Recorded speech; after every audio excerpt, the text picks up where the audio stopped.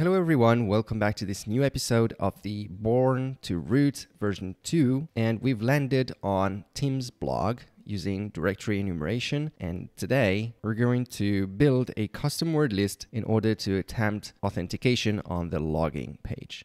Let's get started. So since we have um, a bunch of data points here about the user, there are many tools that allow you to build custom word lists. Uh, we've saw Cool in previous uh, episodes or previous videos. Make sure to check the play playlist penetration testing. It has a load of other challenges that you can learn from. Uh, basically, Cool is uh, a tool that allows you to extract words from a web page. Um, today, though, we are going to use another tool since this we have a bunch of data about this user. Um, there's a tool called Cup.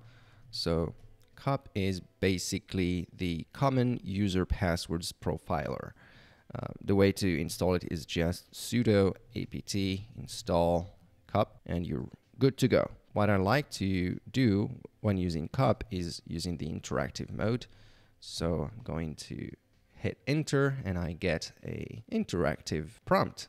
What is the first name of the user you want to build a word list for? Well, it's Tim. Surname. Uh, don't think we have a surname here. Uh, so we're just going to hit enter. What is the nickname? Again, I don't see any nickname here. Let me just put this aside so that we can see the different data points we have here. Uh, basically, most of the time when I am lazy with capital L. I don't know. Maybe this is a nickname, so let's put it here.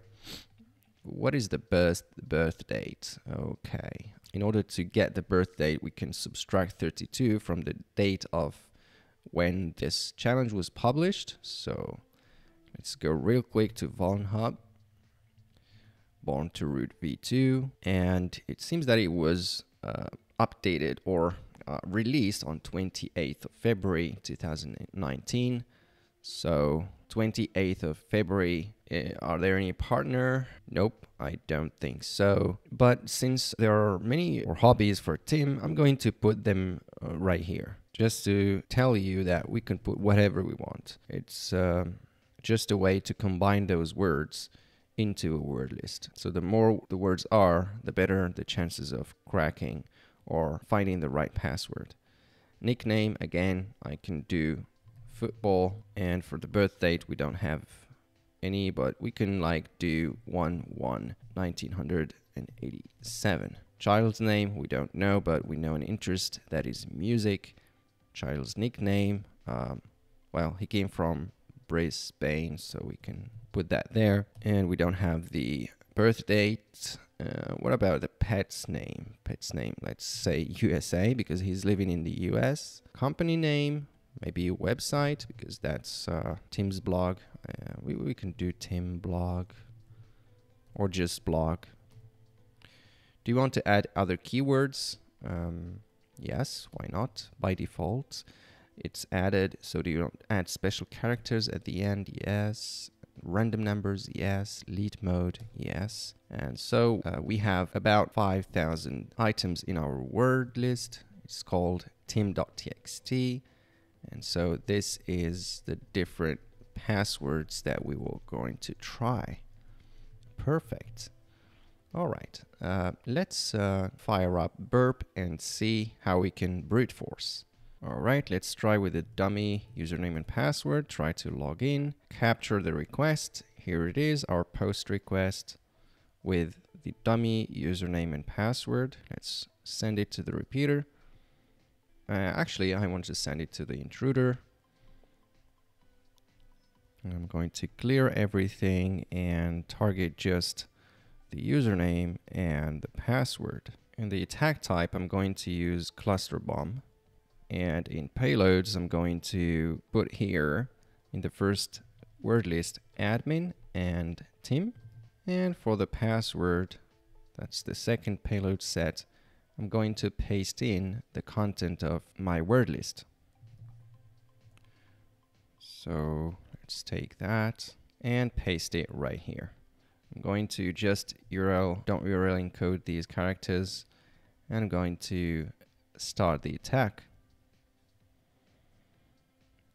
All right, we have a bunch of 303. Let's just verify in one of the requests that we indeed use the username Tim and the password in the right place. Everything looks good. Now everything here seems to be returning 303. Maybe there are, there's a different response, I'm not sure. If we sort by length, oh, we see a different length here. All right. Admin with the password travel. What do we have in the response? Ooh, set cookie Joomla user logged in. All right, it seems that this is the right combination. So let's try that out here. Admin and travel, log in. And yes, indeed, we log in. Hi, super user. Cool. Tim, it's always a good idea to use strong passwords. So what can we do here? Now, with any CMS comes a back office. So we can go to the site administrator to see what we can achieve with admin travel, hoping that it's the same user. And yes, it is. We have a bunch of ways we can uh, compromise this. Obviously, the objective here is to get remote code execution. Let's go to content and let's go to the list of articles. We have the getting started. Yeah, why don't we edit that? Just like WordPress, we can edit the content of any page. Um, if I toggle the editor here, I see the HTML code. So what I can do here is inject PHP. This I guess wouldn't work. PHP info. Generally, you wouldn't use PHP info. You need to be more subtle, but here I'm just trying to see if I can save that as it is. And if I now toggle the editor. Oh, yeah. So it's adding comments here. So basically sanitizing my input, uh, escaping it. So it's not going to work. Click on save and close. Let's go still to contents and maybe we can upload a web shell in here. Let's choose a file. Just going to create a file called um, that has PHP info. So that's our web shell.php and let's start upload. And it seems that our file is not uploaded here. Hmm. If this doesn't work, it's not the end of the world. Joomla is full of features and one of them is extensions. So think of these as additional functionality that you can expand your CMS with. So if I go to manage, I can see here that I can install one.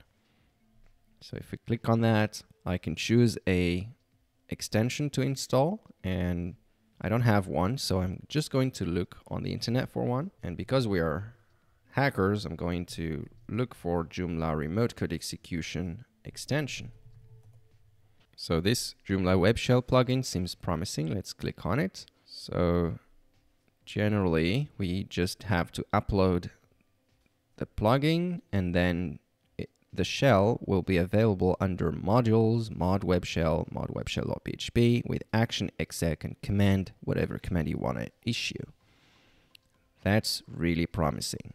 Can even interact with it using console.py, which comes included with the repository.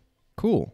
Um, this is really promising, so I'm just going to git clone that project I've already done that. So if you go to hacking tools, Joomla, I have the folder plugin. Inside plugin, you will zip this and create the file RCE. So the way to do that is zip-r for recursive and I'm going to name it rce2.zip just to show you and then just use the star. Now it's going to also zip rce.zip, but yeah, we just want to test that indeed we have rce2.zip. For now, I'm going to remove it and let's upload that bad guy. Choose file and upload. Cool, message installation of the module has been successful. If I go to manage, just to make sure that the web shell has indeed been uploaded, I'm going to look for it, web shell, and indeed it's checked. Perfect. Now let's use the console. So dash H would give me the help. So dash T for target, HTTP, CTF 18 and hit enter. Now I get a prompt. If I type ID, mm, I get nothing. Hmm, what's wrong? Now, if you look closer here, we have the website or the Joomla blog under the path Joomla. So we need to append this to our path. All right, drum rolls. If we type ID, oh, we get results back. We've gained remote code execution using an extension on Joomla. Let me know if you can find any other way to achieve remote code execution on Joomla. Post a comment below and let me know. So with that said, we're going to attempt privilege escalation. And this is what we're going to do in the next video. If you've learned something new from this video, make sure to give it a thumbs up. As always, stay curious, keep learning, and go find some bugs.